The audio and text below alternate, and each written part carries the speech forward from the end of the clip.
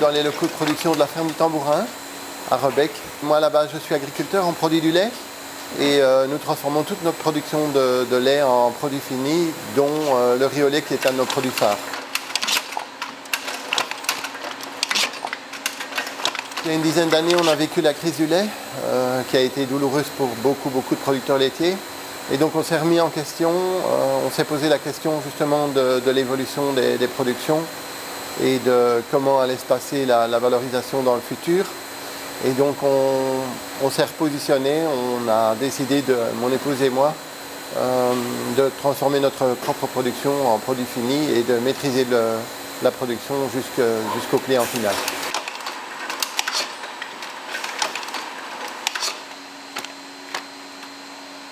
Avoir une production qu'on maîtrise euh, et, et qu'on transforme soi-même, euh, ça amène un plus parce qu'il ben, y a quelque part la fierté du produit fini il y a le retour du client euh, et, ce qu'il en pense. Et donc c'est excessivement important pour, euh, pour le savoir-faire et l'envie du travail qu'on a besoin. En fait.